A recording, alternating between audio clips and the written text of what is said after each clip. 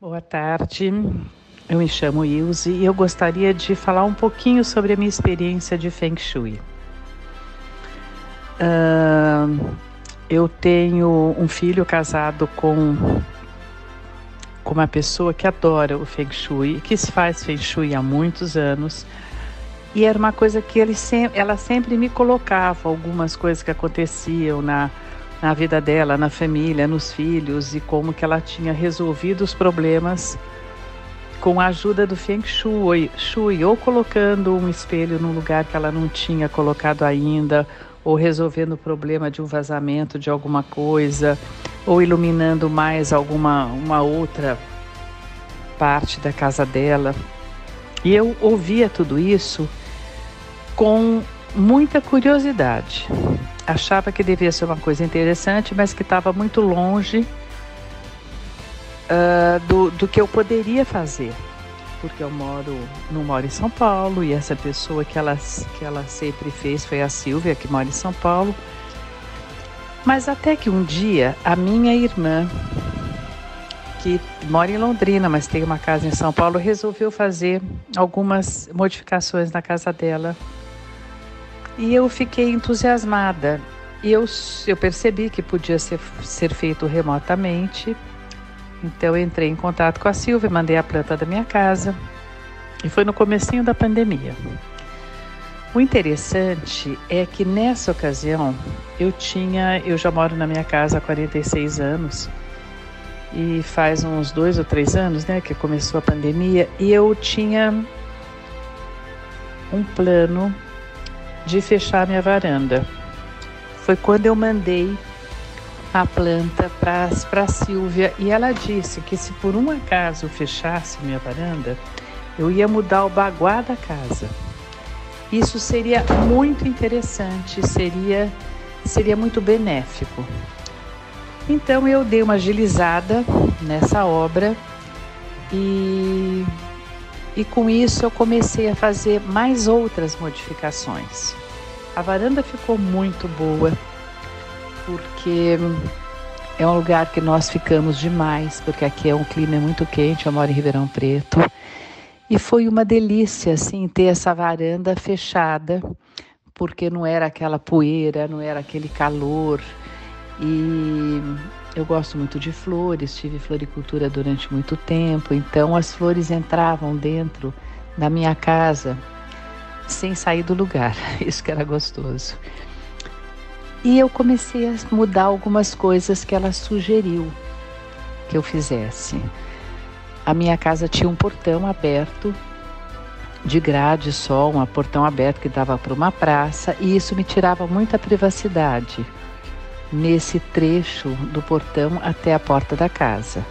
Quando a Silvia sugeriu que eu abrisse a porta todos os dias durante pelo menos uma hora para entrar o sol, entrar energia, e a minha porta tem duas folhas, eu resolvi fechar o portão que dá para a rua. E se isso foi assim uma das melhores coisas que eu poderia ter feito, porque eu ganhei um espaço, eu podia regar meu jardim em paz, eu podia deixar tudo aberto e é uma, é uma coisa interessante, né? Porque te dá uma privacidade gostosa, você se sente mais dentro da sua casa. O hall de entrada com isso também modificou, porque eu tinha um espelho que era exatamente na frente da porta da entrada. É interessante porque eu achei que eu estava no caminho certo, com o espelho na frente da porta da entrada. Quando a Silvia falou assim: não, de jeito nenhum, você precisa colocar o espelho à direita uh, porque senão você vai perder essa energia toda. E com isso eu mudei todos os móveis. E eu tenho um teto que era pintado de vinho e branco, era um teto tipo pirâmide em cima, e a gente nem percebia que esse teto era tão bonito. E quando eu mudei todo o hall de entrada, as pessoas até falavam: Meu Deus do céu, o que, você fez aqui que você mudou tanto? Eu não tinha mudado nada.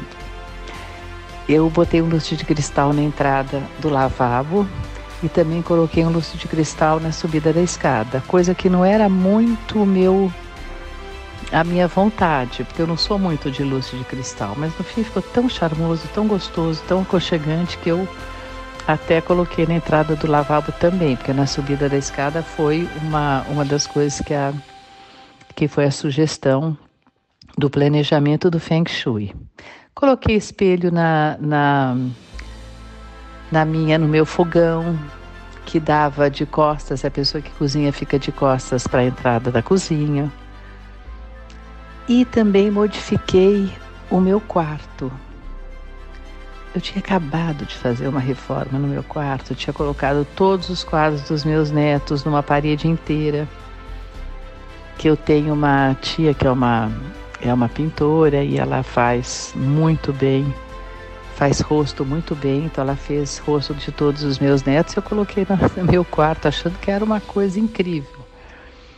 Quando a sugestão é não colocar retratos e fotos no quarto. O quarto é um lugar de paz, é um lugar que você precisa relaxar, que você precisa pode colocar flores, quadro de flores, o um quadro neutro, mas não não um monte de rostos muito familiares. Então, eu tirei isso, coloquei no wall de cima.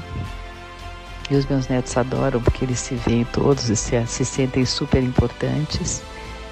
E o meu quarto eu mudei a cama de lugar, porque a minha cama dava para a lateral da porta de entrada, quando o certo é que você esteja de frente para a pessoa que está entrando no teu quarto. Engraçado porque é uma coisa que modificou completamente meu quarto. E não sei porquê. Ele ficou mais espaçoso. Ficou muito melhor. Então, o que eu senti, não só de energias boas e de dormir melhor, porque eu tenho insônia, e tudo isso, tudo que eu modifiquei na minha casa, eu fiquei super satisfeita. Ela ficou muito mais uh, bonita, mais aconchegante, mais harmoniosa, mais, mais florida. Então foi uma das boas coisas que eu fiz nos últimos tempos.